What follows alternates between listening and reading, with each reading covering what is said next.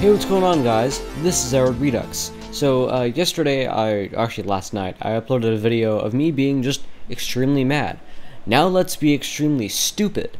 So, have you ever wanted to, you know, have infinite file storage, no matter what the cost? Um, of course, the cost being free, but like the work you put into making the way you're doing it infinite? Well, today I have a solution for you. GitHub. So I recently opened a, a, thing. I just created a new, just a new repository, and I decided to post a whole bunch of um, pictures that Discord wasn't letting me upload because they decreased their file size to 10 megabytes, which just isn't enough for some 4K screenshots that I create with print screen. And of course, pr with print screen, you have to paste them somewhere. So I pasted them in GitHub, and that actually worked quite well. And there isn't really a limit to how many you can do. So I'll just, I'll just up upload all of them here, and then link to them in Discord, so I can send these, send the screenshots to people without actually sending them the picture file itself, which Discord no longer allows me to do. So that's my solution to that. But then I realized well, couldn't I just upload anything? And technically, yes, you can but it'll only allow you to upload certain things. If you try to drag like a MIDI file in here, for example, it'll just say, we don't support that file type. So how do you fix this? Well, let's check the file extensions. So you could just rename one of these files to MOV, and then it would upload to this, but we don't want to do that. So what else is in here? Well, there's zip. You can literally just put one of these or put all of them into a zip.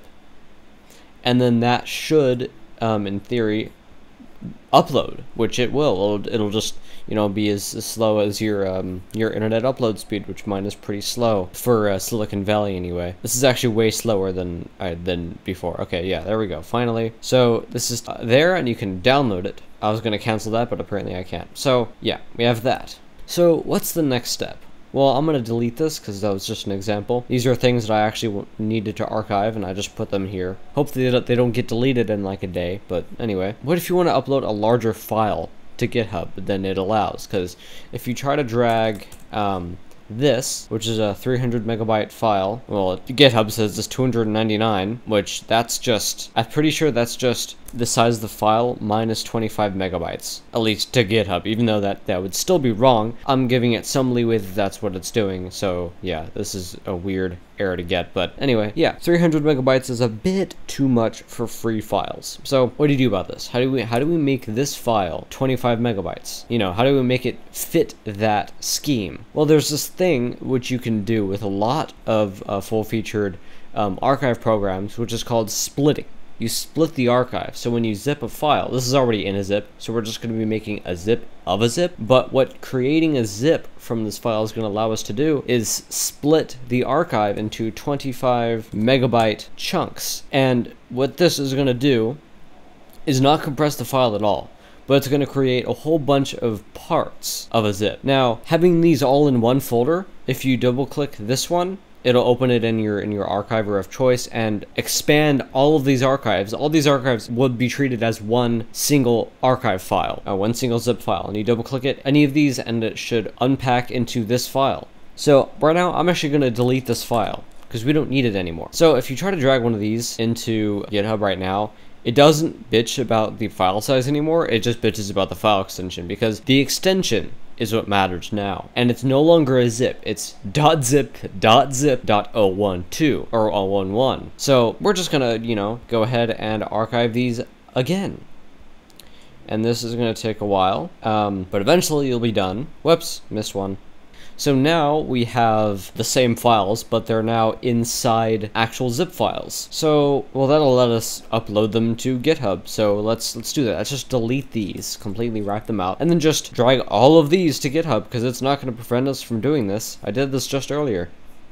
So yeah, it'll upload and this will take a while. My upload speed is about 2 megabytes a second. I usually get a little bit less than that, or a tiny bit more than that, depending on the day. There's the first one. I'll come back to you when it's done. Oh, and excuse the awful audio setup I have right now. This is an Audio Technica AT2020 USB edition that I just have going through a really, really crappy USB hub thing that goes into a USB-C port on this MacBook. I actually have it jammed in between a bunch of blankets because I couldn't be bothered to get on my main PC and because I was already doing this on the Mac, so oh, why not record this on the Mac? And the fans are this loud, well, because, you know, I'm recording 4K 60 on this MacBook, and uh, this MacBook's thermal design, not the best. And I'm using software encoding. Don't tell anyone.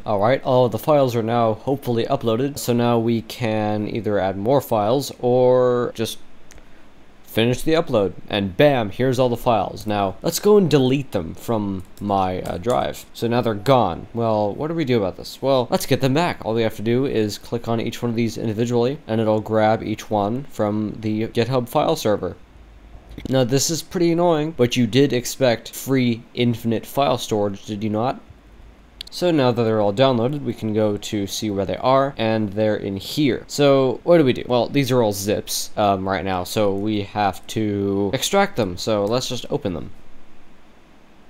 And it opens uh, macOS's archive utility and uh, unarchives all of them. And now we're stuck with the archives we uh, we uploaded before, or we put into zips and then archived before. So dot .zip dot .zip dot the archive part number. So all we have to do now is open this in an archiver one that knows uh, how to deal with this stuff. And we're back with our original Fantasy MC Fabric Minecraft mod pack zip file. Now we can extract this and see what's in it. Or we can import it into CurseForge, which is actually what it's meant for. Um, here's Iris and Memory Leak Fix. Resource. Holy crap, there's resource packs? Jeez, no wonder this thing takes forever to download, but anyway. So yeah, that's how to abuse GitHub for infinite file storage. And that ends this stupid video. I'll see you all in the next live stream, short, or video, whatever that may be. Thanks for watching.